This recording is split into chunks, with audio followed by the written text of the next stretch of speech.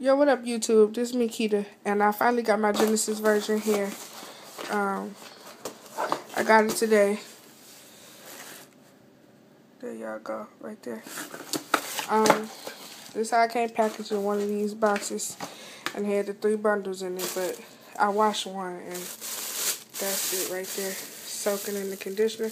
I'll show y'all how I did that later, but just wanted to show y'all how the hair looks out the package. I ordered a 16. Hope y'all can see this. A 16, a 18, and a 20. Um, and the hair is pretty brown. I already opened it because I'm nosy. but the hair is, um, this is the hair right here and that's my ends. On the 16 inch, it's pretty thick or whatever. And my ends don't look so bad. But on my 18 inch, my ends is like real dry.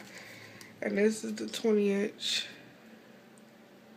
And my ends are a little dry on that one too. If y'all can see that. And that's how much hair you get in the bundle. Um... But what I did was I washed it. it come with my invoice. How much I spent, whatever. And the directions to the hair. Right here. Care instructions.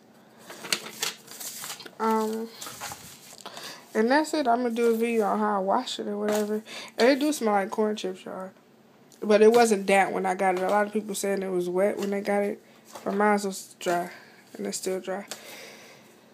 And um, I guess that's it. But right now I'm letting this condition. I washed it, conditioned it, and then put it in here and let it condition just a little bit more. And this is my 18 inch. And I said that my ends were terrible. Well, they weren't terrible. They just was real dry, y'all. But that's it. I'm not that sitting there with the Dove Intense. And I just put it in the bag. Whatever. So that's my, I guess, initial review, I guess. I'm going to uh, tell y'all some more about this hair. And about the shipping or whatever. Later on. So I just wanted to show y'all that before I wash the rest of them. So I'll holler back at y'all.